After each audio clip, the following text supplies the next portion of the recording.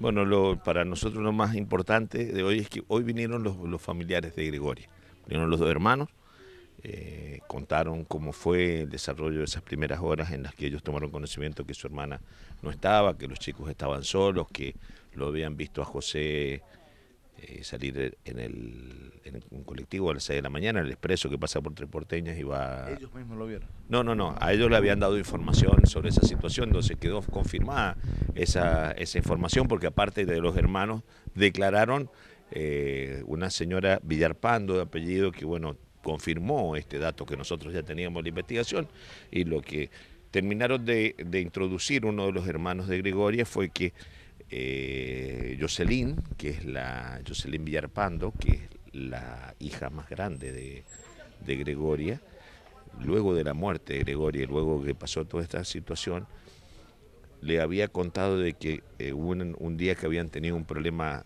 serio entre Gregoria y, José anterior a, la, un, hecho de claro un hecho de, violencia previa vamos a decir en los términos de perspectiva de género por la cual Gregoria había enllavado la puerta y este, este chico quería entrar por la fuerza.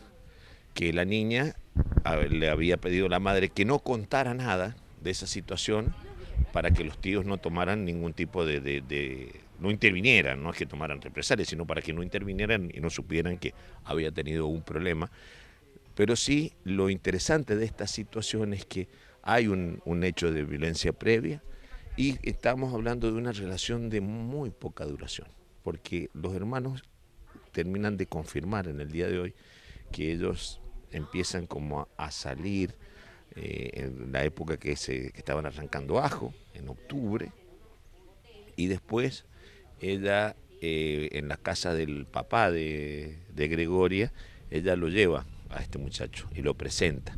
Como y después como en el mes de febrero es que eh, eh, él deja, porque uno de los hermanos vivía con Gregoria en la casa donde después ella vivió con José, eh, se va a vivir con el hermano a Corralitos y es que es ahí cuando comienza a convivir con, con José Llanos, que la característica principal de esta situación, que ahora también nos ha servido todo esto para ubicarnos más allá de, y para ubicar el jurado, es que es una casa rural, de estas casas dobles que hay en la zona rural, que son bien típicas de la provincia de Mendoza, que viven, en una casa que está dividida, que para un lado vive una familia y para el otro lado de la casa vive otra familia. Entonces, para un lado de la, de la casa vivían los familiares de José Llanos y en la otra parte de la casa, en la otra mitad de la casa, vivía Gregoria con su hermano. Y después cuando se va su hermano, ella queda viviendo con los hijos y ahí es cuando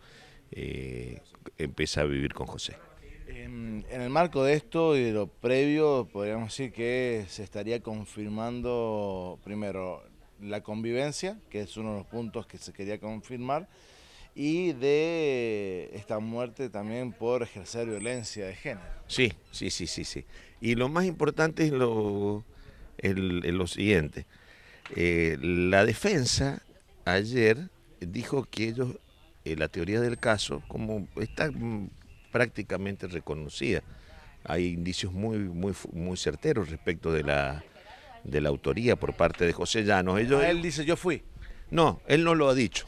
Él no lo ha dicho. En, la, en, en, los alegatos él dice que había reconocido el hecho. Bueno, eso lo dicen los abogados. José Llanos no lo ha dicho a eso. Eso lo dicen los abogados. José Llanos lo que dijo es que estaba muerta y él señaló el lugar. No dijo yo la maté. Por eso nosotros tenemos que, más allá de que existe el reconocimiento técnicamente, el Ministerio Público tiene que probarlo igual. Lo que hizo la defensa ayer es decir que van, ellos van por unas circunstancias extraordinarias de atenuación.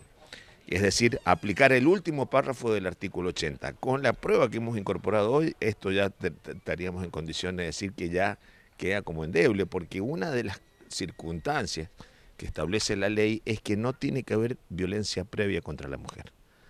Y a y nosotros hoy ya tuvimos un testimonio de que ha existido violencia previa.